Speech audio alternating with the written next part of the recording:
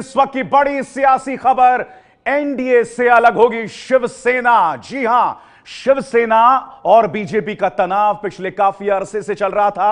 उसकी हमने लगातार झलक देखी थी महाराष्ट्र में भी, और अब जो बड़ी खबर आ रही है कि एनडीए से अलग होगी शिवसेना। जी हाँ, इस वक्त की राजनीतिक भूचाल लाने वाली यह खबर है, शिवसेना की कार्यकारिणी ने इसका फैसला हुआ है, जिसका सीधा मतलब यह निकाला जाए कि महाराष्ट्र के अंदर भी बीजेपी की जो सरकार है, वो अस्थिर हो जाती है।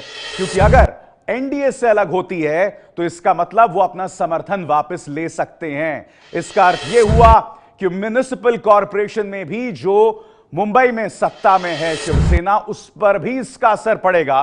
तो कहा जा सकता है कि महाराष्ट्र की सियासत में भूचाल ला देने वाली यह खबर है। शिवसेना की कार्यकारिणी में फैसला हुआ है। बड़ी खबर है। 2019 में जो लोकसभा और विधानसभा के चुनाव होने हैं, वो शिवसेना। जितेंद्र दीक्षित हमारे साथ जुड़ रहे हैं। जितेंद्र, वजह क्या है इस फैसले की? देखिए, बहुत दिनों से जो है शिवसेना और बीजेपी के बीच में कटुता चल रही थी और खास करके पिछले विधानसभा चुनाव में सीटों को बंटवारे सीटों के बंटवारे को लेकर दोनों में काफ़ी कलह हुआ था और जिसके बाद तभी राज्य स्तर पर ही गठबंधन को तोड़ दिया गया था और शिवसेना, बीजेपी दोनों ही पार्टियों ने अलग अलग चुनाव लड़ा था। उसके बाद में जो सबसे अहम चुनाव था वो मुंबई महानगर पालिका का था। उसमें भी दोनों के बीच में गठबंधन नहीं हो पाया था और दोनों पार्टियाँ अलग अलग चुनाव लड़ रही थी। कई मसलों पर दोनों के बीच में कुटुता चल रही थी और है कि उसी वजह से अब आखिरकार बीच में कई बार धमकी भी दी गई थी चेतावनी भी दी गई थी उद्धव ठाकरे की ओर से और अब उस पर अमल किया जा रहा है।